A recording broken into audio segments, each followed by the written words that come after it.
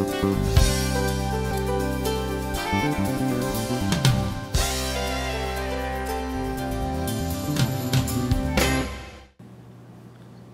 morning, Dr. Rushing. Uh, if you could tell us a little about your background, including birthplace education, family background, uh, etc. Uh, just give us a little overview of that. Where you were born, dates would be good. Well, I was born uh, 90 years ago today in uh, rural Brown County up in central Texas, of course, uh, to a, a, young farming couple. Uh, we lived out uh, in the east part of Brown County. Uh, I was the first child, and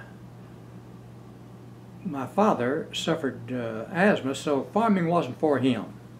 And very shortly after I was born, we moved to Comanche he uh, went to work with his uncle in a small retail grocery, community grocery type thing, and he was also post office messenger in uh, Comanche, meaning he carried the mail between the railroad and, and the, the uh, post office in those days.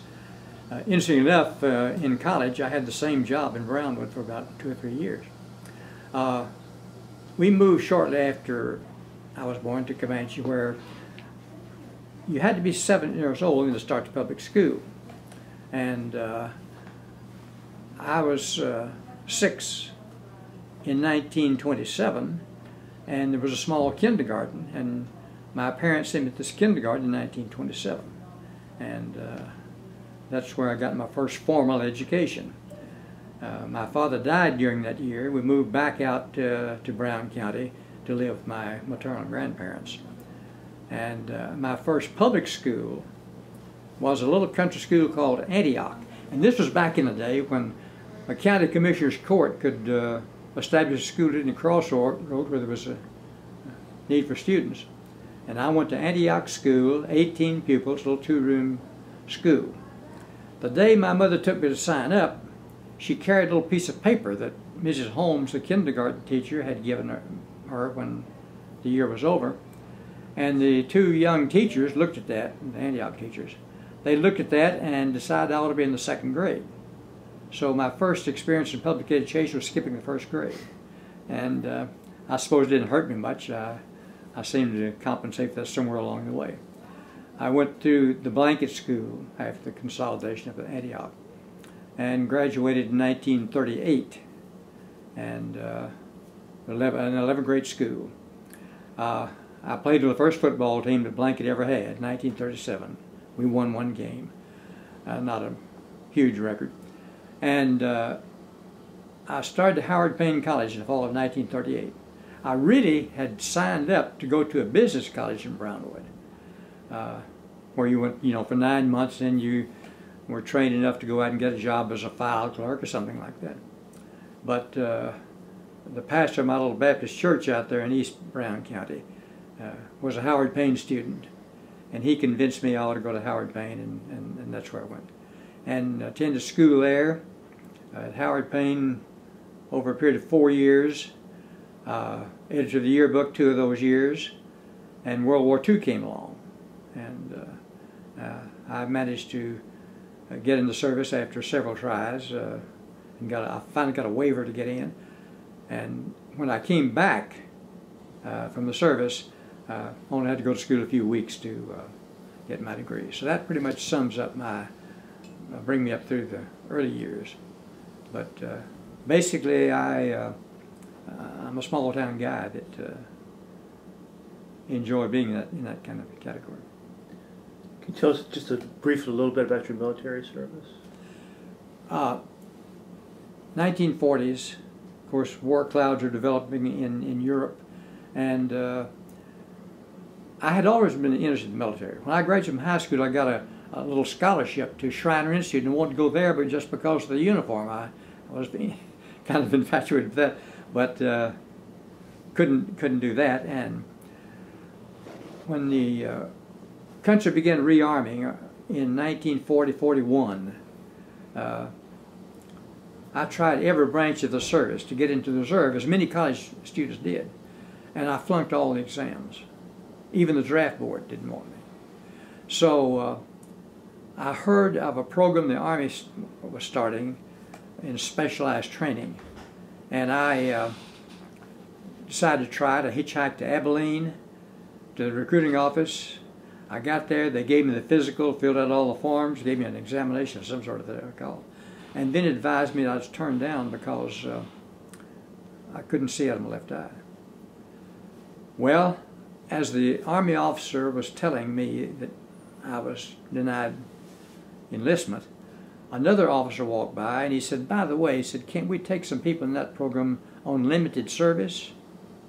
And uh, they looked it up in the reg. Yes, they could. He said, would you take limited service? I'll take anything. So I walked out of there with my ID card, which is back on the side of my computer, I think now, uh, listed me as Private Joe Bob Rushing in the Air Force, in, in the Army Reserve. And uh, went to basic training while I was there. The Army did away with limited service, service so I walked out of basic training as uh, classified as a rifleman. Went to, uh, was assigned to a division, and the day I got there, they apparently just needed someone in one of their medical detachments. And I, with, with uh, my background in chemistry, maybe they saw that. And uh, they made a medic out of me. And I did that throughout my Army career through World War II. I was a medic with the anti-tank company of the 342nd Infantry in Europe. And uh, our division was sent to Europe primarily, well, entirely because of the Battle of Bulge in December of 1916, uh, excuse me, December 16, 1945, when the Germans attacked through the Ardennes Forest. Uh, we were on, in California training for the Pacific in the invasion of Japan shipped us over across countries on troop trains and ships to Europe. And I was in Europe for about about a, the last hundred days of the war there. Then the first division brought back, and we deployed to the Pacific. But they dropped the atom bomb on the way to the Pacific. So what I did was spend seven months in the Philippines. Uh, now in uh, medical supply and my job was primarily to deliver medical supplies to Filipino army units up in the hills on Luzon, things of that sort. So I had a, a pretty broad experience in the military, but uh, I can't say it was spectacular in any sense of the word. Very interesting history, military history. Now, and when uh, you, I might add to that, uh, when the Korean War broke out in, in 1950, I had just begun my doctoral program at the University of Texas. And I thought, well, uh, they may call me back to active duty for some reason, so I went down to, to the recruiting office, Air Force recruiting office, uh, got the application forms, went back out to my dormitory, filled out the application form, and uh, was proofreading it, and I saw the, the, uh, the blank where it said, for what rank, rank are you applying? I had written down second lieutenant. And I thought, hey, I started at the bottom last time, didn't get very far. I got to corporal. I erased that and put down first lieutenant. They gave it to me. So I, I spent 21 years in the Air Force Reserve. So when you got back from the war, you went to, uh, you, do you use the GI Bill and went to graduate yes. school? Tell us a little bit about your graduate school experience, then we'll get back to your childhood right. briefly. I, uh, in, in 1942, when I enlisted, I was much closer to a bachelor's degree than I realized. And when I came back, I enrolled in Howard Payne in the summer school of 1946. They had a nine-week summer term. And uh, I enrolled in, in full course load on the GI Bill. Uh, in September, first of September, no, first of uh, uh, August. I went to the dean's office to check my records to see what I had to take. I thought I had to go one more semester. And the dean uh, checked my records, and uh, I think there may have been some degree uh, changes, and I mean, the degree requirement changes. And uh, some journalism had not been placed on my record from my yearbook editing. And so when he had finished getting all that recorded, he said, Rushing, you just graduated. He said, go over to the uh, office somewhere over there on the campus and get you a cap and gown. And so that night I walked across the stage and got a Bachelor of Arts degree. and then uh, uh, I had no intention of teaching, and but stumbled into it accidentally, and uh, decided I would go into. I wanted to be in school administration. Uh, as a chemistry teacher, I loved it, but uh, if anybody was making any money, it was the principal down the hallway. I certainly wasn't. So I moved into to uh, school administration, discovered the uh, community college when I became principal at Ranger, Texas, and uh, went to University of Texas. Uh, I had earned my master's degree at East, East Texas while teaching over in Mount Pleasant. And uh, so I went to University of Texas after learning about community colleges. I spent two full years and got a PhD. It sounds like you had a interesting background and, and a, you had kind of an adventurous spirit. So you, as, as a child, who influenced you? Do you think who are you? Do you have heroes as a child? People you look up to, admire that influenced? Well, in terms of he heroes, of course, I'm maybe with all children, your first heroes are fictional.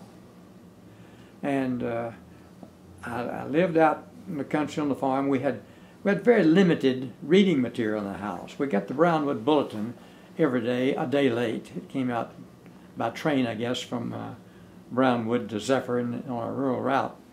And uh, I, I was an avid reader of the comics, and I remember uh, a comic strip called Wash and Easy. Two characters who were always uh, in some kind of venture somewhere, Captain Easy and a fellow named uh, Wash Tubbs and uh, they were my two heroes. And then later on, uh, I got interested in in boxing as a, as a youngster, and uh, I read everything I could find about Jack Dempsey and Jack Johnson, and Joe Louis, of course, uh, uh, came into the picture.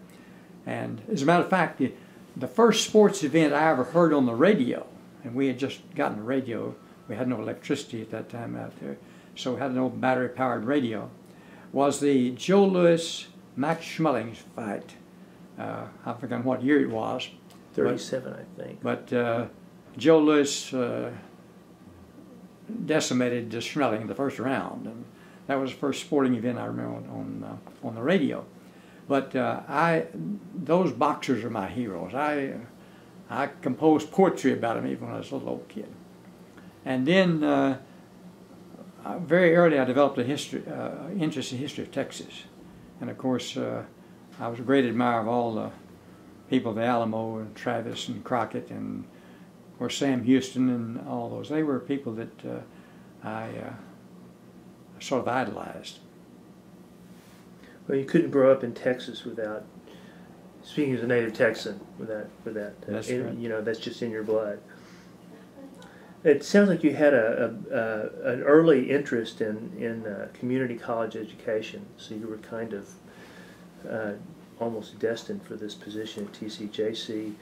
Um, take a minute to compare and contrast the environment of TCJC that existed when you took the helm as first chancellor and the college today. When you came on board, of course, there was no college at all, and you you were there for the actual construction of the first campus, and and you uh, supervised the beginning of the uh, of the latest campus, uh, the uh, the Arlington campus, which is the southeast. So you were I, there. My, my last campus to be involved in the planning and construction was Northwest. Northwest. And after I retired, then that's when the development of the the uh, southeast campus came along. Yeah, so you saw the college develop yes, from right. all through these various. So, so what, you know, compare the early stages with the institution as right. it as it evolved. Well, my interest in in uh, community colleges, and then we call, always call them junior college because uh, all Texas legislation was written in terms of junior college, back from 1941 when the first appropriate the first money, but. I knew very little about them. And when I got my first administrative job as principal of a school in Ranger, and in being interviewed, had made the decision to, to employ me, and I had made the decision to accept. And the superintendent of schools, who was also president of college, said, Oh, by the way, uh, we notice you have a, a degree, undergraduate degree in chemistry. we'll want you to go out to college at night and teach a chemistry class. This was in Ranger. And uh, that's where I really got decided that's where I wanted to be because I could I found out what was happening across the country. New ones being started everywhere. And that's what got me at the University of Texas and uh, the uh, the community college movement. And that's where I was really converted to that uh, belief. And uh, so far as the the uh, atmosphere or the climate in uh, Tarrant County, uh, it was really I would call it anticipatory because in the campaign that you you I know I've read about, uh, a lot of people were involved. Uh, community leaders, many of them who work behind the scenes pretty much, but uh, service groups, all formed many many committees, people who to take carry the message. The Fort Worth Star Telegram ran 13 articles, a series of 13 articles, describing junior colleges term in those days. Harley Pershing was his name. And uh, somewhere I have those uh, 13 articles somewhere. Tom Schieffer was a junior at Arlington Heights High School and president-elect of the uh, uh student body out there for his senior year and he organized a speakers group of high school seniors or juniors to go out to, to Pure Four groups. So the community had been just literally saturated with information. That didn't mean everybody got the word, but there was a great deal of anticipation about what this new college would be. And when I arrived there in uh, November of 1965, uh, just about every day I was before some group somewhere uh, explaining what the, what I've envisioned, what the board envisioned the college would be like, what uh, curriculum would be. One of the interesting things, the question came up that uh, the college had been sold largely on the basis of its impact on the economy, technical education, career education. And I'd, I'd almost always get a question in those early weeks.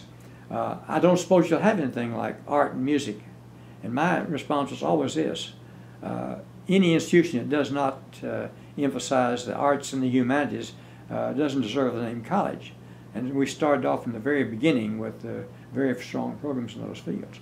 So it, it, was, it was really a great experience uh, to face the community and, and try to interpret what the, the leadership had uh, envisioned when they called for the election to, to form the college district.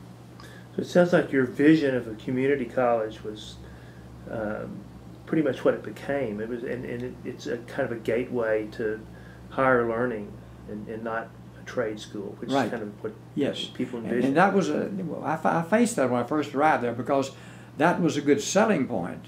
The career training, trade school type uh, was was really stressed, but uh, I think we had to develop the, the, the concept of a comprehensive uh, community college. So if a young person today asks you about the importance of attending college uh, or the importance of the humanities as part of a college education, uh, say somebody that had some questions about the value of a college education, how would you respond? Uh, I would not respond as I would have a number of years ago when you could say, look, if you go to college and get a degree, you can earn this more dollars and uh, if you just stop at high school. Uh, I, I, would, I certainly have always encouraged people to to go to college in whatever form it might be, not just simply to get a credential of some sort, uh, a degree or or certificate. Which, those are important, but uh, I, to me, it's, as much as anything, it's uh, it's developing a habit of lifelong learning, and not to, to stop at any certain point with a degree or, or a document uh, certifying your expertise in some field. Uh, I think that's, to me, that's one of the most important things. I, uh, I still haven't broken my habit of going to college, and I, I took two classes this last year at, at Texas A&M Central Texas. My history, uh, my military history uh, uh, in, interest overcame everything else, and I audited a course in European history 1919 to 1945, and a course in uh, the spring I did a course in uh, U.S. Uh, military history. So uh, yeah, at 90 you can still uh, go to school if you want to. This, uh, this next question is, gets us kind of back to the notion of heroes, maybe in a more contemporary sense. If you had an opportunity to invite anyone living or dead to a dinner party, who would you invite and why and what would be on the menu? To pick somebody to invite for dinner, anybody I could, I could have. That's the toughest question you've proposed yet. Anything else I can, uh, I can talk about it, but I really had to give some thought to that. And you know, being with my interest in the military, uh, you think of George Patton and uh, Dwight Eisenhower and Audie Murphy and uh, any number of names. Winston Churchill would always come to mind. Uh, I thought about uh, Carl Sandburg and, and, and the way he could use words in, uh, in describing, for example, uh, Lincoln's funeral train back to Springfield. Very moving document. As a matter of fact, I've, I've just a couple of years ago, I reread all of, uh, of uh, Sandburg's uh, Lincoln series. Uh, and uh, of course, there are religious figures in the past and, and present. You think of the people you like to meet face to face. But I ended up with one that probably wouldn't be the greatest dinner guest. And I, I guess this this grew out of the fact that uh, what we're facing in the country today and the problems we have, both financial and, and sociological. Uh, I picked John Adams. Uh, John Adams uh, was not, as I said, he might not have been a most pleasant dinner guest. Uh, a professor of mine, one of the greatest professors I ever had, was Newton Edwards. Many, many years, University of Chicago history department, and then, uh, fortunate for me, finished up his career at the University of Texas, and I was able to have two classes with him. And I remember the day that Dr. Edwards said, uh, the no other family, more than the Adams family, contributed to, to uh, the nation as we know it today.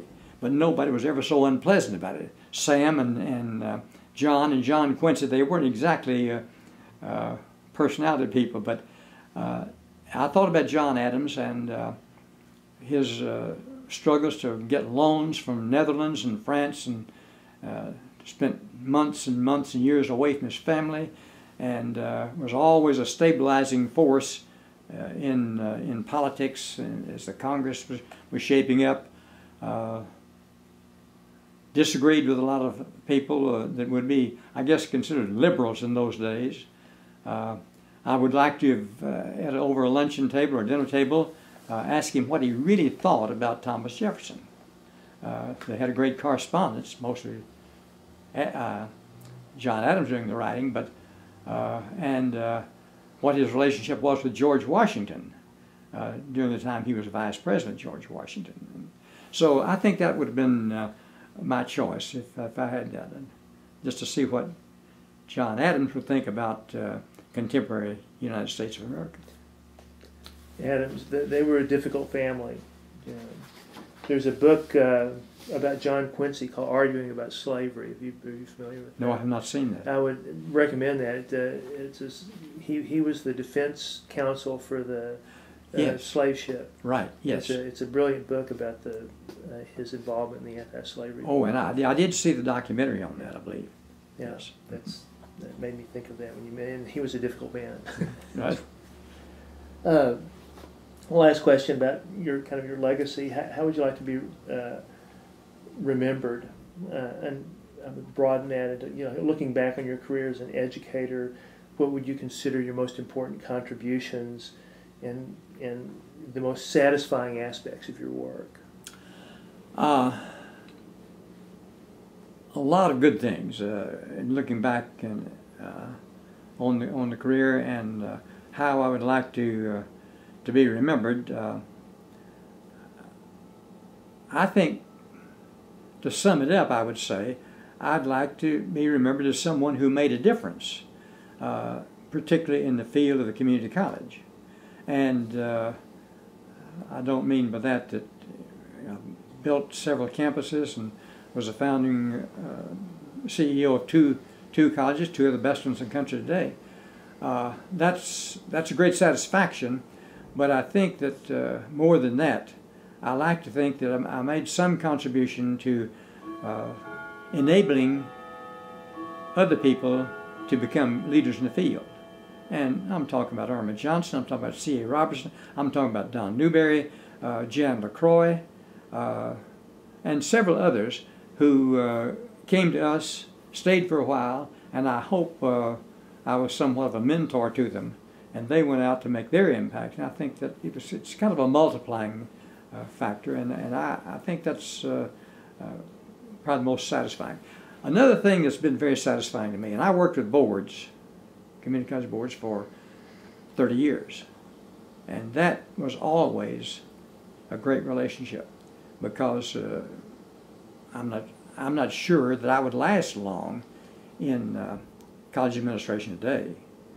But uh, we always boards and I always had clear understanding of our roles. And some board members over the years really helped me to understand that. When I was named president of Broward Community College in Fort Lauderdale, to go down and start that little college in 1960, I had just for the first time had a lengthy conversation with uh, Dr. Walter Prescott Webb, University of Texas. I never had a class with Dr. Webb when I was down there, but I had met him and had heard him speak a few times. And uh, he and I had breakfast one morning, and uh, just because uh, the restaurant was full and he had an empty space at his table, he asked me to join him. And he mailed me a copy of the University of Texas Graduate Quarterly, and it contained the speech that Dr. Webb had given at the inauguration of Jack Woolf at University of Texas Arlington. And he named the speech, and I may still have that catalog somewhere. This was, we're talking 1959 60. Uh, he entitled the speech Man on the Seesaw. And he depicted the college president as standing in the middle of a seesaw, and the faculty on one end, and the board of uh, trustees or board of regents on the other, and the president's most important job to oversimplify was to keep those two separated. Not separated physically, but separated in terms of understanding of their roles. And, and I enjoyed that, I think, uh, throughout the 30 years as, as my college president. One last thing to kind of sum things up. You, you, uh, your experience, your professional experience with the community college world kind of traces the it from its early beginnings. I mean, it had been around for a while, but in, uh, and now uh, uh, the community college is being is kind of coming to its own. Right. So you've seen it evolve into something quite probably different from the early years. So. Um, what do you what do you see in store for the future of the community college as an institution and its role, educational well, role in the future? For for a number of reasons. Now, I'll say this when I retired, I really retired. And uh, I began raising cattle and, and doing nothing and, and uh, have not really kept up with things, but I do watch it very carefully from the outside and have a keen interest. Uh, we still have some of the same problems that, that uh, community colleges have had since their, existence, you know. Uh, we have those uh, ideas that it's junior to something. Uh, I won't ever quite forgive the guy who came up with that term junior, but uh, it, it, it had that stigma for a very long time. We've gotten rid of that. And uh, I think now more and more, particularly people in policy positions, are seeing this as really, uh, it is a unique segment of American education. You know, we got the graduate school from Europe, we got the elementary schools from Europe, secondary schools, but the community college is, is a unique American institution. And I think that's being more and more recognized. We're getting more and more people who have that experience. In, in Tarrant County, how many thousands of people do you have who have had a direct experience with Tarrant County College? Thousands of them. And uh, I think that uh, as time goes on, and economic pressures are part of this too. Uh, the the college, uh, the two-year college, is going to become far more important than it is now, and more and more people are going to go into it. Uh, we still have the problem in this nation of, uh, I think it's more of a parental problem than it is a student problem, of uh, people who have a desire to see their offspring, and this is laudable, I don't uh, criticize this, uh, having a degree from a quality institution. And uh, sometimes I think they don't really understand the word quality. Uh, but I think more and more people, more and more people are going to see the community college as being a high quality uh, institution. And so uh, I've facetiously suggested from time to time that maybe what we ought to do when uh, a couple has a new baby, uh, let, give, give them a, a, bachelor's degree from the college of their choice, and then from that point on, we worry about the education. But that's, of course, doesn't work. Well, thank you, Dr. Rushing. Appreciate your time. well, thank you for coming down. Enjoyed having you here. Okay, before we wrap up then, uh, now that he's finished his questions, now I've got some questions for you. Very good. And if you would just keep looking at Okay. uh, Tom when you talk. Uh, going back to TCC, the beginnings of TCC, could you talk about the early, early years, uh, your involvement and some of the challenges uh, that you guys faced to even get the college going and just, uh, uh, just talk about, you know, kind of work through a little bit of the campuses up to Northwest uh, as far as your involvement, and then how it kind of progressed from, you know, the college even just came about and much of the work in, in getting the college started, or getting the idea out there, getting a legal uh, framework, formation of a district and voting a tax uh, base, much of that was done uh, a few weeks before I got there. And, uh, but that didn't solve all the problems. The problems began, the detail problems began we began planning and construction and uh, getting the college open, getting a faculty. Uh, at that time, the nation was building about, on the average, about one new community college a week. And uh, there was big demand for faculty members and, and administrators. And uh, so getting, uh, first of all, assembling a staff that I thought was appropriate for, for Tarrant County and for appropriate for the kind of institution we want to develop. Uh, we, we began selecting faculty from anywhere, all over the country. Uh, we had uh, certain positions. I had one, one idea that I needed, a, for example, a chief business officer who knew Texas law, who knew Texas finance, and could come in and, and have that background behind him, and found that C.A. Robertson. Uh, so that was putting that first faculty of 100 together was a great experience. Loved every minute of it. And uh, just as a little sideline, uh, in 1961, I hired a young man out of Ball State University, sight unseen. Only person I ever uh, hired without an interview, as far as I know. And uh, hired him in Fort Lauderdale. He came down, he taught art. I left. He went back to graduate school later. And on the first list of faculty members that came across my desk in 1966, as we were getting staffed up, was the name Will Kern. And uh, you may know Will, he retired a few years ago, but he, he taught art on the South Campus all those years. But that was really a great challenge and a, and a great, uh, which was really a lot of fun of, assembling the faculty and staff. We ran into minor problems, really. It turned out to be minor problems. Uh, we had uh, construction problems a few times. We, we had uh, a few strikes along the way. Uh, getting the, the South Campus was probably one of the best organized of all of our construction projects. We had uh, a local contractor, we had local architects, good weather, and uh, got that campus open in, well, in, in, in uh, September 65. Northeast was a different problem. We got up there, we had a, a strike. It held up the uh, construction several weeks, uh, maybe several months. But we got it open and saved money on construction costs enough to, I think, to build the swimming pool.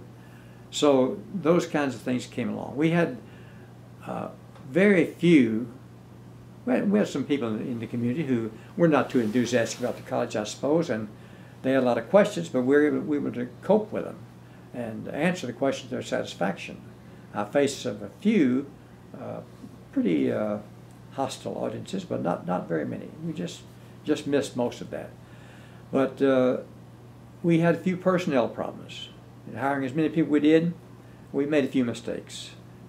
And uh, nobody's fault really, just people that did, did not fit into what we were uh, trying to do. And so had to take some, some uh, pretty severe, uh, drastic steps in those cases. But uh, the Northeast uh, had, we had traffic problems up there, but we found great cooperation between North Richland Hills and Hurst and the other area cities. They all just pitched in and, and solved any problem. When we uh, built the Northeast, uh, it, it, was in two cities. It was a 185 acre campus, which we bought. Uh, had been a former horse farm. And uh, we began planning the campus, and it uh, we had to go to Hurst and North Richland Hills and say, hey, uh, can we can we shift the city line one way or the other? Put us all in Hurst or in all in North Richland Hills. And they both wanted the college. So they said, you go ahead and ignore the city limit line. Plan your buildings, locate them wherever you want, and then when you get through, we'll draw the city limit bound line down through the county, which they did, and it goes something like that, I'm sure. They may have moved it since in the, to miss the building, I'm not sure. But we just had great cooperation in solving problems like that. Utilities, uh, they went all out to uh, perhaps uh, enlarge a, a, sewer line or, or uh, do whatever's necessary to, uh, to help solve the problems. The Northwest campus was, was a gift even before we had begun uh, construction on south and northeast, the Walsh family had approached the board and said, if you want a, uh, a campus in the northwest, we have land up there, ranch land, on around Marine Creek Lake, and uh, we'd be glad to give you uh, land for campus. Well, I had when I first arrived there, I had written specifications for a campus assuming a uh, student population of 5,000 full-time student equivalents, commuter campus, all the things that go along with, uh, with and we decided that the minimum size of a campus would be 150 acres. So the Walshes gave us 150 acres there on the shores of uh, Marine Creek Lake. But then we ran into a problem when the site development began. Engineers looked at that because 40 acres of the 150, 38 or 40, fell within the 100 year flood stage. And we couldn't build on, on that property. Uh, couldn't build public, public buildings and, or any kind of buildings. So we ended up with 100, uh, a lot, lot, lot less land than 150 acres, about uh, just, just over 100. So we went back to Walsh's and uh, uh, both Mr. and Ms. Walsh, Howard and Mary D. Wonderful people. Uh, in a conversation with them, we explained that we couldn't build on that, that we needed more land. Well, I don't know whether any of you knew Howard Walsh or not, but he's one of the world's greatest guys. But he could he could grumble at you, and uh, he was uh, kind of grumbling around about, well, we gave you 150 acres, and Mary D said, Howard, shut up. You're not going to give it to him anyhow. So we got the additional 40 acres, of about 40 acres for that campus. It came out 100, I think it's 130 acres. But it was that kind of cooperation we had. And uh, so uh, uh, we did have some problems uh, on that campus. There's a, a, quarry a mile away over there somewhere. And we were, we felt the, the, the soil there, or the, the, the physical structures is solid rock under there and we were getting vibration through that that, that we thought we were losing some windows, things of that sort. And uh, went to the people in the quarry, and they agreed to cut down on the size of their blasting over there for a while until we could uh, uh, find the root cause of it. So it, uh, the problems that uh, we faced uh, were huge one day, but seemed to be always solvable and, and uh, relatively easy. Was there anything that influenced what what specific programs went on the campuses? Like like South has the nursing program, and the Northeast has some of the med- medical uh, uh, auxiliary programs, and, and and Northwest has has the uh, horticulture. And were there d- decisions on, on trying to Yes. decide what programs were Yes, there? every, every one of those, we spent a lot of time on every one of those uh, location of programs. was always a, a, a big problem. Not a, yeah, not always a big problem. You could make some decisions fairly easy. At the time we opened the South Campus, the associate degree, nurs- de- degree nursing program was still very new. Uh, I had begun one in Florida uh, about the third or fourth year. That program was started really under the auspices of Columbia University with a grant from the Kellogg Foundation because it, it, it, some people thought that in two years you could develop great bedside nurses, registered nurses, uh, without a full baccalaureate degree program. And it would prove to be true. And uh, I started the program there, and I wanted to start one in Fort Worth, and of course the hospital wanted to start one in Fort Worth. And uh, so we included that planning on the South Campus for the nursing program to get it up and open because we didn't know how long it would be before we got the Northeast open. Uh, the uh,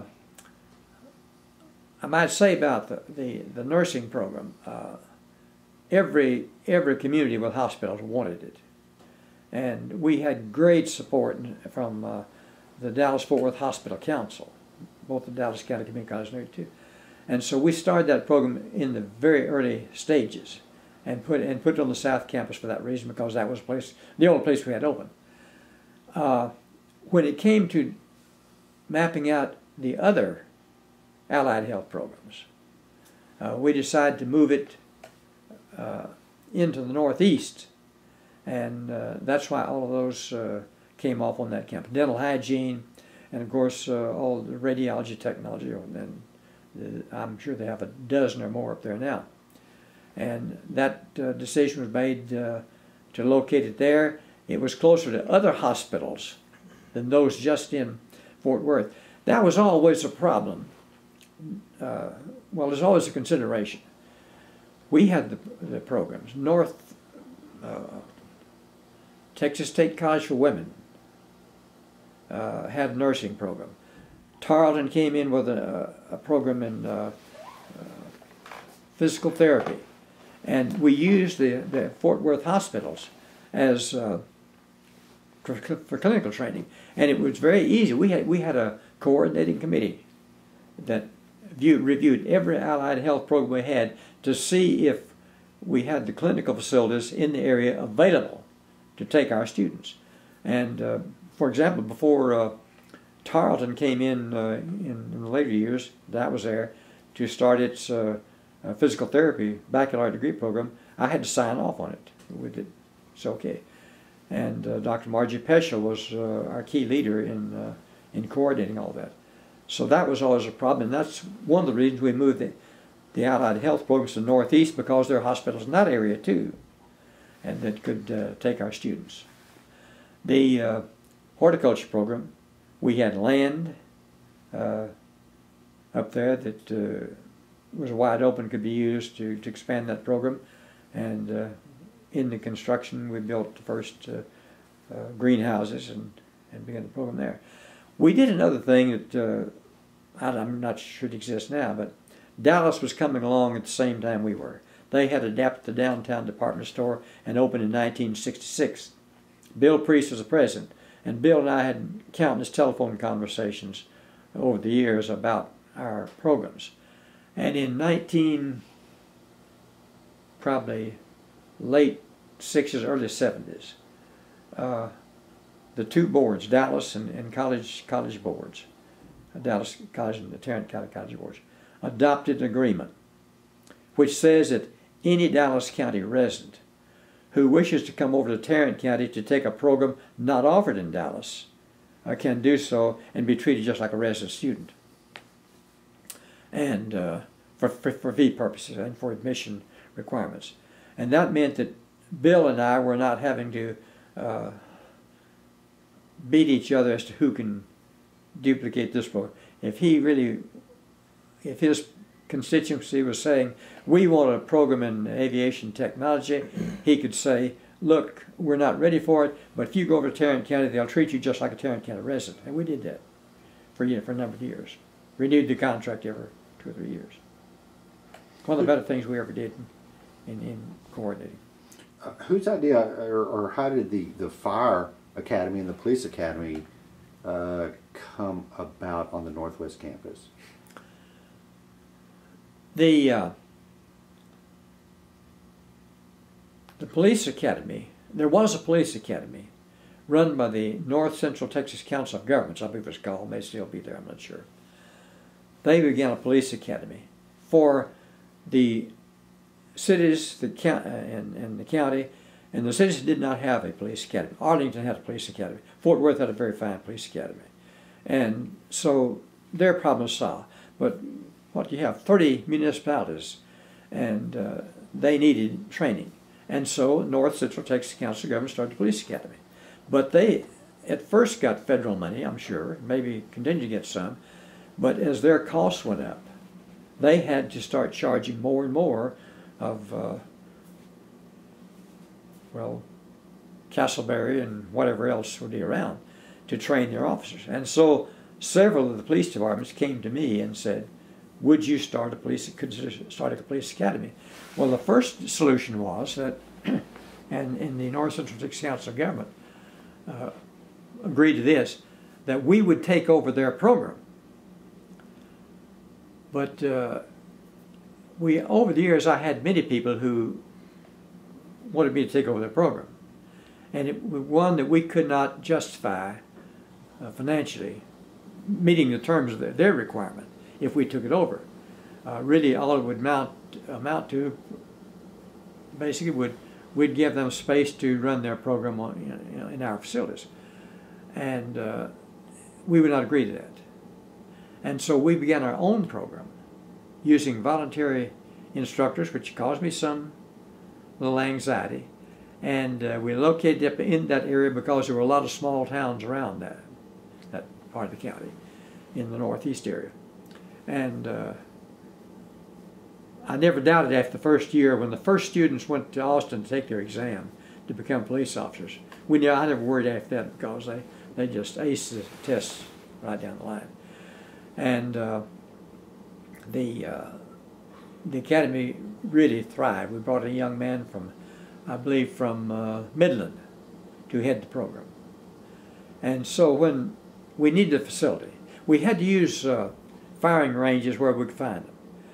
And uh, way, the way the county was developing, uh, you use a firing range for this class, and by the next time when you have a class to go through the firing uh, training, uh, you get there, there it's filled with condominiums. And so you had to go someplace else. And that's when we decided to build a facility on Northwest. We had plenty of land, and uh, uh, so we put the put the campus on that. There was plenty of land not only to uh, build the firing range and the, the, classrooms and so on. We also had land room there for the driving pad, which took up a lot of space. And uh, the agreement was then, I'm sure it still exists, most of the instruction was done by uh, training officers of uh, uh police departments, voluntary. Then we, we swapped them time in the range uh, for their instruction. So it's really a, a, kind of a barter system with the early years of the police academy. I was really amused the other day reading the, the, uh, the Collegian. Uh, I noticed that they're thinking about closing in that range on the uh, northeast campus, but for fear there's a high school to be able to understand there, that a stray bullet may go. that was uh, not new news to me. I wanted to build an indoor range on that campus. And uh, so we looked all over the country to find a, a, good example of somebody with a successful indoor range. And I discovered one in my old school down in Fort Lauderdale at, at Broward College. And I, I don't remember, I took three staff members And we flew to Fort Lauderdale to look at this indoor range, but while we were in the planning stage at Northwest Campus. And, uh, and it was pretty nice. Had 12 firing stations. And so uh, something didn't look quite right, and I, I asked the director, a man whom I'd hired years before to, to head the police academy there, I said, uh, how many people can you fire at one time? How many police? He, oh, we can only fire six, even though they had 12. He said, the air circulation system simply will not get those toxic fumes out fast enough. We came back home and we, we uh, planned the open range. Well, we were doing the, the uh, punch list. The building was completed. And uh, the architects, C.A. Robertson, and uh, campus president, we were going uh, through that. And I looked up in that range and I saw the, the girders across the range. They were made out of two and three inch pipe welded, of course, round. And I could just see someone coming in there, getting off a high round, hitting one of those pipes, going up there, coming out and hitting somebody's car hood on the, on the, you're not going to hurt anybody probably, but you have a dent on the hood and we would have all kinds of trouble, trouble about a stray bullet. So I said, and I, am sure it's still there now if you'll go look. I haven't looked. I came down to my ranch one weekend. I brought my 22 Magnum pistol. I brought a 38 Special, and I got some 2 by 6s and I went out and I fired a few rounds and found, of course, it went right through. I took the tube six back to C.A. Robertson. I said, uh, Mr. Robertson, I want you to get the architects and I want you to face those girders with two by six. That will slow up a bullet enough. It's not going to go out there. It's not going to hurt anybody, but uh, it can be, it could hurt ours. Public relation. So I was really amused to see that the same problem is still there, that uh, there might be a stray bullet. I hope they get it resolved. That was the, uh, the why we had the the, the uh, range up there. We had open space. The whole country was open then. The noise from firing wasn't going to hurt bother anybody. Of course, that changes. Just like the old ranges we had to use uh, out uh, a dirt bank somewhere, it became uh, a condominium or parking uh, shopping center. Um, one last question. Uh, your relationship with Dr. Bell. Yes. Because it was such a long. Right. I mean, he was the, I guess he was the president of the uh, of the board the whole almost the whole time you were uh, chancellor. Jenkins Garrett was the first president of the board, and, and president of the board when they hired me in 1966, and. Uh, Jenkins served for six full years. He, they drew for terms. And so his term, he drew a term of six years and served throughout the uh, six years. And really, uh, I give him more credit than almost anybody else in the way the board shaped up in terms of its responsibility and actually, uh, I'm not exactly confessing to three of you, but uh, to the television camera here, that uh, they gave me a lot more authority and freedom than uh, I had any right to expect. I tried to respect that, and I think that uh, I was fairly successful in doing so. I never never infringed on that. But Jenkins was the one who really brought about the development of the, the way the board worked. At the end of six years, he did not, did not run for re-election because the governor wanted him to be on the board of Regents University of Texas. He took that job. And uh, that's when uh, uh, Dr. Bell became chairman. And from that point on, we, uh, we worked very, very close together. Had a great relationship. I have uh, two questions, if I can. Can you articulate the, uh, course, directed to these guys, your answer. Uh, can you articulate the opposition there was to a junior college in Tarrant County um, and the naysayers? The, the opposition to, to the formation of the college, Mm-hmm. uh, it was there. Yes, it was organized. Uh, not so much opposition uh, in terms of a big opposition, but there were some people who were very sensitive about the college. I think that perhaps uh, faculty members at the existing universities had some concern. And uh, Texas Christian University, and I had a great relationship with Texas Christian. Then, and uh, they had some concerns because they had a very big evening program, which they operated fairly economically. It was a, it was a financial asset to them, and they could see a new community college coming along could wipe out their freshman sophomore classes with five dollar per hour uh, uh, tuition, and uh, so I hardly would describe that as opposition but concern. I think there was some concern expressed at University of Texas Arlington, maybe not exactly in the same way, but uh, in some of their lower division uh, departments of predominant lower division. So that atmosphere existed. I don't know of anybody who uh, openly came out and object, objected to the college uh, because it was going to cost more more money, because it was going to be relatively small. And then uh, very interesting things happened. Dr. McGruder Sadler was chancellor of Texas Christian University, and Dr. Law Sone was president of Texas Wesleyan. And in the campaign, they both came out and publicly endorsed the formation of the college district. And that was a great asset. Uh, instead of coming out uh, against it, they endorsed it. Now, in, in fact, when we did open and opened our evening program, uh, particularly after the first year, we got the evening program up and operating. Uh, TCU pretty much closed down its its lower division uh, courses, but there were there also some people who wanted to who ran a separate slate of officers, candidates officers for the board of trustees. And if you have that book that uh, uh, Don Kennard put together, I think it's described in there. And several prominent people, uh, particularly in the African American community, uh, were pl placed on the board. Good people. Uh, a dentist, uh, I remember was, was one of them. And they appeared on the ballot. but the six people who were being promoted by, I'd say, the uh, community college committees that uh, had been formed.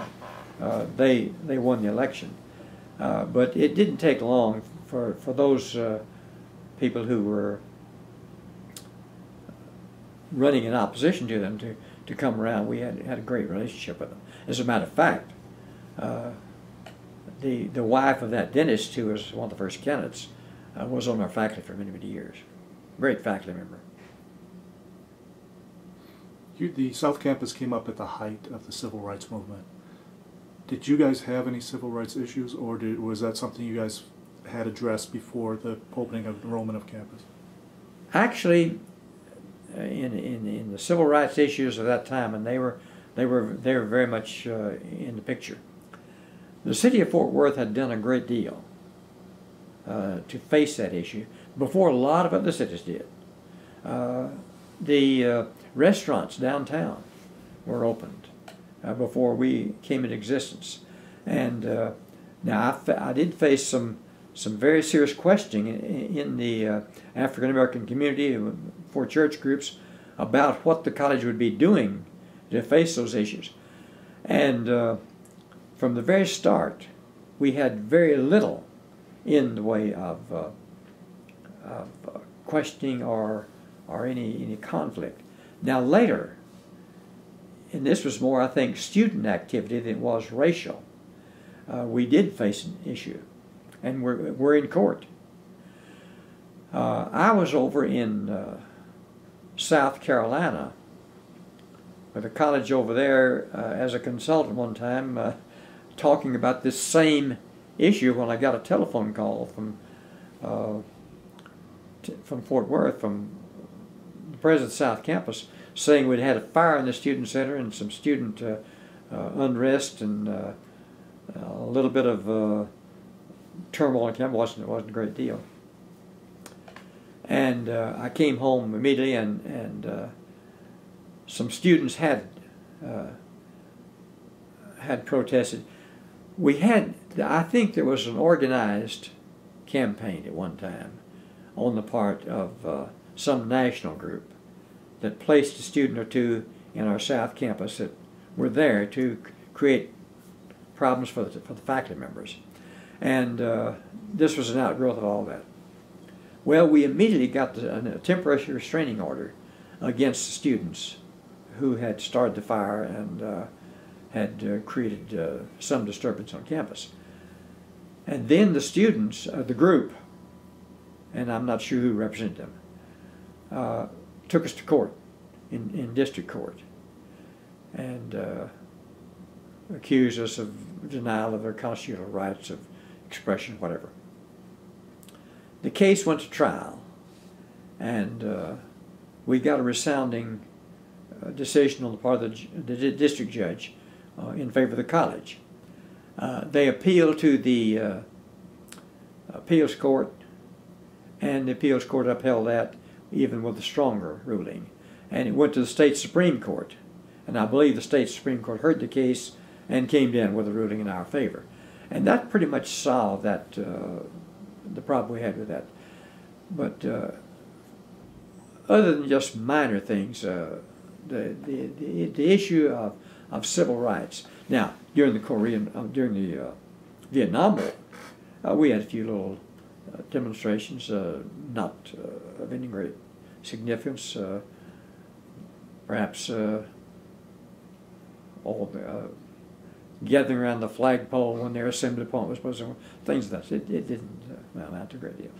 I think we're very, very fortunate to, to have had uh, gotten through that period with relatively little uh, turmoil and conflict. Anything else you want to know? He covered, he asked the last question I was gonna ask. Oh, okay. About Vietnam and, and civil rights movement. You opened that campus, it was right in the midst of all that. and Mhm. I was Yes, wondering, yeah.